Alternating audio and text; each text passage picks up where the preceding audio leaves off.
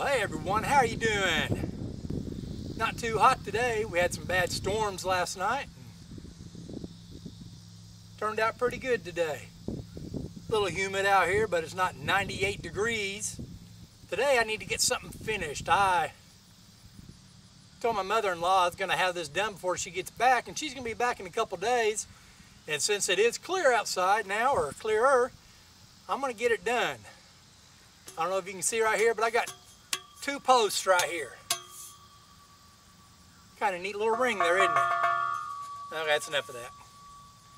All I'm gonna do is be making a handrail so she can come out of these steps. You know, it's only just a couple steps down out of the door to her room behind me. Okay, the step coming out of this door, it's not, it's not all that big of a step, but you know, when you're in close, you know, your mid 70s, hey, you need a little help sometimes. And so for her safety, we decided we was to put a handrail up here. So we looked online and thought, hey, we'll just get a guardrail, you know, a handrail type thing put up here when they pour the concrete. Wow. Too expensive. And I do things cheap, so we had to figure out something else to do. So I was just kind of talking with my wife. We was going over it, and she said, well, can you get a couple fence posts or something and maybe do something there? As soon as she said that, I was like, wow, it just clicked in my brain. Get a couple corner posts for a chain link fence, like one of these right here. And just put them out here in the ground so when they pour the concrete and put that other step in right there, I said, hey, just concrete those two posts in there and I'll make the handrail from there. That saved a little bit of money. So my idea on this is I'm gonna take these right here. They're just like, you know that top rail that runs along a chain link fence? This here's what that goes into. This here clamps onto one of these things like right here. So you just put a screw through there and it tightens up, but I'll just cut that there to the length. And it'll go from right here down to here. Before she left, I just had her step outside the door and say, hey, what's comfortable for you when you come out? Where are you, where do you want to put your hand at? And it go down, you know, to, to be the perfect height for her. Because it's different for everybody. And since her door, her room, hey, her steps, let her figure it out. So I just kind of looked at it, put a mark there, put a mark down here. It's not much of a downward slope right there, but she's comfortable coming out of the door there, and then right here, stepping up from the concrete, she's comfortable grabbing that right there. So let's get started. Okay, as you can see here, I took one of those bands and put around this post here, and put in one of those, I guess, like kind of like a socket right there, a little keeper. Put one in there, then I put one over here on this side here.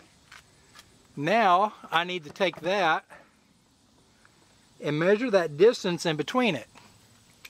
So I can cut that post over there to be the handrail. Let's see, let's get a better measurement here. Put it there. 25 inches. So I'll get that top rail over there and I'll cut it out 25 inches and then I'll come back and try to wedge it in between these right here to make a handrail. Measure 25 inches here. Right there.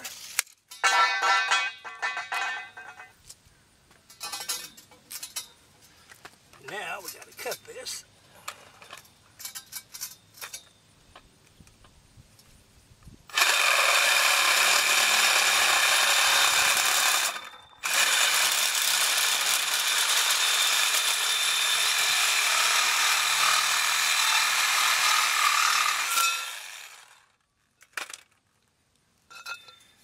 All right, 25 inches.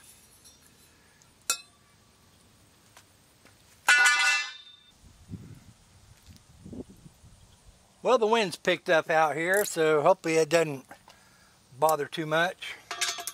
I'm gonna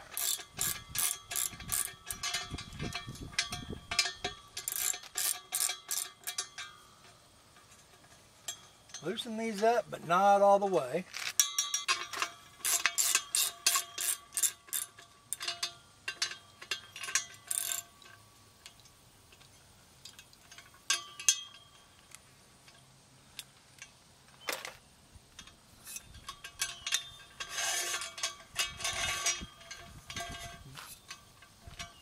Just enough that I can probably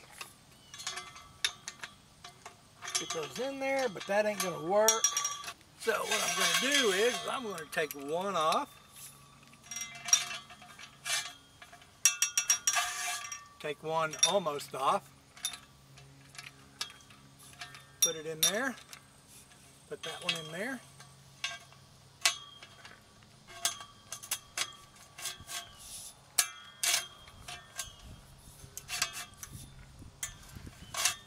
And just work it down.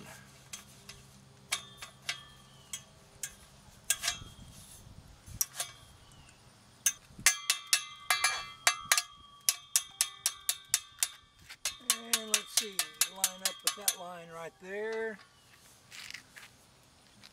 And come on down some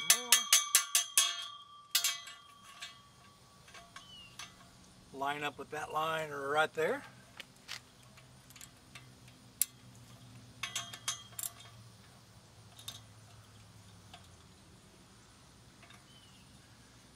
Lined up. Is that straight?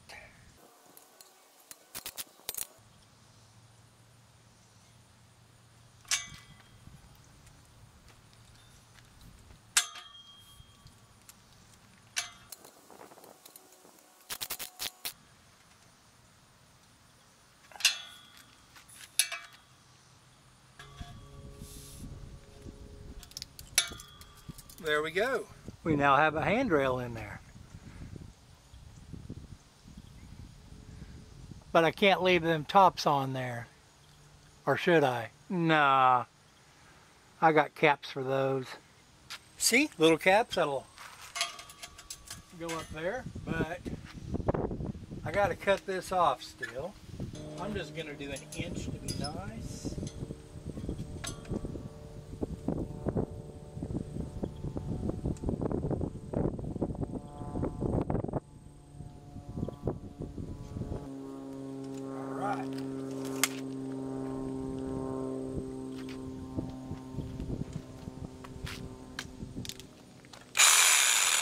Now what are the odds that I'm going to be able to cut these straight across?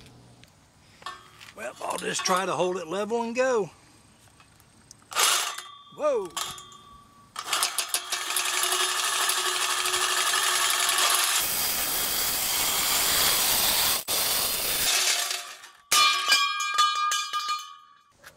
That ain't level.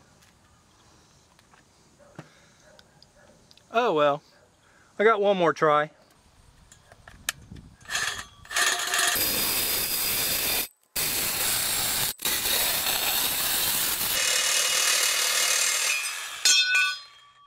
Yeah, that's pretty close. Now, got one there.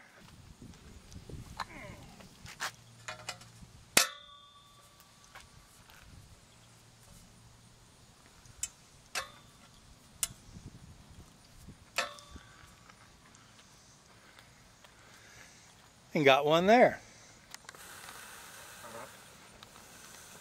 So that there is a cheap way of making a handrail. If you don't want to spend two, three hundred bucks, or even you know 150 bucks for a flimsy one, this here is probably the route to go. Probably about 30 bucks in this right here. You know, it's nothing fancy, but it's going to work. It's cheap. That's all I am is cheap, so I like it cheap. I like everything cheap, as long as it works. Well, thanks for watching, everybody. Nothing big. I just thought I'd show, you know, how I do things. You know, I'm piddling around around here, just doing things, and just a way to get things done cheaper, saving money. Ain't got no money, so I got to save what I have. And that there's just a cheap way of making a handrail. Well, thanks for watching, and see ya!